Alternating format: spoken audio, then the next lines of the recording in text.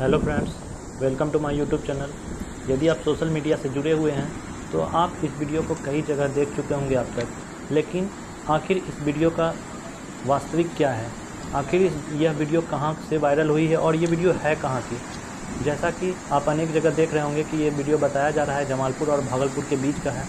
लेकिन ये वास्तविक में ये सही नहीं है और ये वीडियो मध्य प्रदेश के ग्वालियर से है, संबंधित है। तो दोस्तों यह वीडियो ना ही मालदा डिवीज़न की है और ना ही जमालपुर, रतनपुर के बीच की है, बल्कि यह वायरल वीडियो पश्चिमी मध्य रेलवे के भोपाल डिवीज़न के शिवपुर, शिवपुरी ग्वालियर रेलखंड के मध्य की है।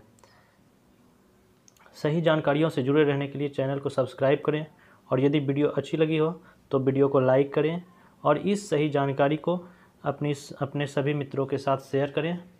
Thank you friends.